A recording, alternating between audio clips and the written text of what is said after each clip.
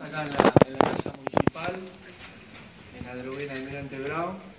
Eh, hace un mes, creo que justo hoy, se, se conmemora el, primer aniversario de- de- del fallecimiento de Enzo. Creo que todos eh, sufrimos en, carne propia la, pérdida de un, de gran compañero de trabajo. Eh, y creo que es importante poder homenajearlo, poder recordarlo, poder tomarnos un, un momento de pausa, aunque sea un día laboral, para, para poder este, recordar a Enzo. Me acuerdo ese día, hace exactamente un mes, en medio del Mundial, cuando nos encontramos con esa noticia, un compañero de trabajo mandó un WhatsApp, yo venía manejando. Eh, fue realmente sorpresivo y un gran golpe para todos. Más allá de, tratar de, acompañar a, a la familia, a sus seres queridos que hoy están aquí presentes, le agradecemos en la clínica, en, eh, en el, en el entierro al día siguiente en el cementerio municipal. Eh, me tocó, eh, estamos en el siglo XXI, en redes sociales, tuitear, ¿no? El, pesar, la pena nuestra por, la desaparición de Enzo. Y empecé a buscar fotos. Me, me encontré enseguida con una foto de pocos meses antes, donde Mariano le había entregado una medalla a Enzo, eh, que estaba muy trajeado, muy peinado, muy arreglado, este, por sus 25 años de, de desempeño aquí en el municipio.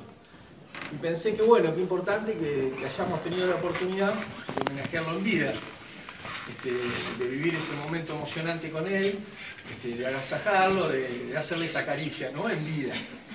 Por eso me parece importante que hoy, a un mes de, su desaparición, estemos acá y, y podamos volver a homenajearlo, a, a pensar en él, a recordarlo como era, cuando circulaba todos los días por estos pasillos.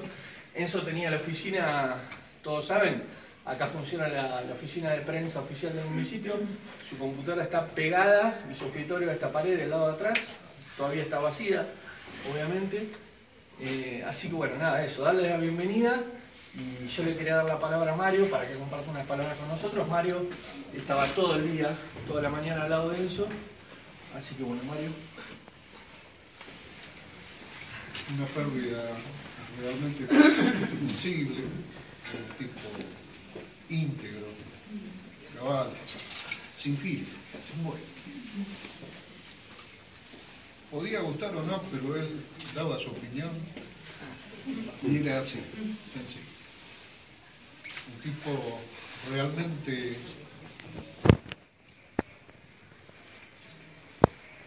te emocionaba desde las cosas que hacía por el arte.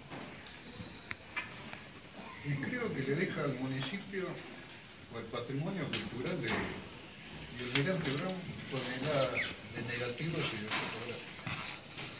Algunas realmente, por lo que me han dicho, son invalorables. Por ejemplo, la Quinta Roca Nevada. Sé que los muchachos de, de cultura están procesando ese material para hacer una muestra con, con ese legado de ellos.